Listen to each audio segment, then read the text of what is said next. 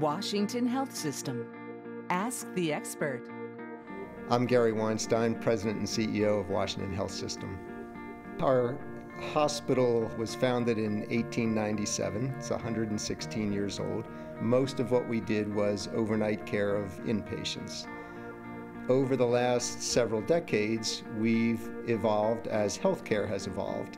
Now we offer services such as Greenbrier Treatment Center for chemical dependency rehab, Wilfrid R. Cameron Wellness Center for preventive and wellness care, hospice care, and many other outpatient services. So it's really a matter of patients don't want fragmented care. They want care that's integrated, uh, where they don't fall through the cracks, and that's really the, uh, the challenge and really the benefit of having a healthcare system. Washington Health System, centered around you. For more information on Washington Health System, please visit WHS.org.